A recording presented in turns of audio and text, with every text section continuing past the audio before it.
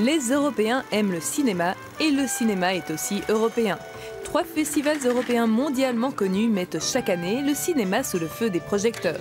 La Berlinale en Allemagne, le Festival de Cannes en France et la Mostra de Venise en Italie. Le Parlement européen attribue lui aussi chaque année un prix du cinéma à un film européen, c'est le prix Luxe. Il faut dire qu'après l'Inde, l'Union européenne produit le plus de films. En 2013, 1546 longs métrages au total. Les autres grands producteurs sont le Nigeria, les États-Unis et la Chine.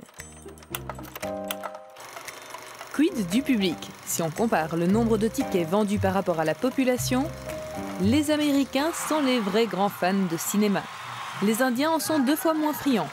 Et les Européens le sont encore un peu moins. Peut-être à cause du prix du ticket.